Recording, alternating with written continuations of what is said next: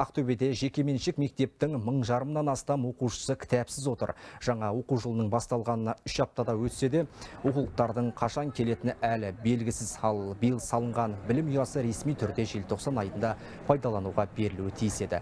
Бірақ батыс екі тұрғындар алабындағы орын тапшылығынан мұнда сабақтар қыркүйекте басталып кеткен. Тиісінше мұндай аяқ асты өзгерістер оқулықтың тапшылығына әкелген. Қазір мұнда 3700 бала тегін білім алып жатыр. 2000-нан аса оқушы басқа мектептердің қорында бар кітаптармен қамтылған. бір ай күтеміз потому что оқулықтарға заказ беру керек келісімшарт жасау керек олардың басылу керек и әкелу керек. Ол деген бірталай уақыт алады келесі жылға осылай жағдай болмайды потому что жеке мектеп уже өз қаражатын қарастырып толығымен контингент анализ жасап толығымен қамтылады.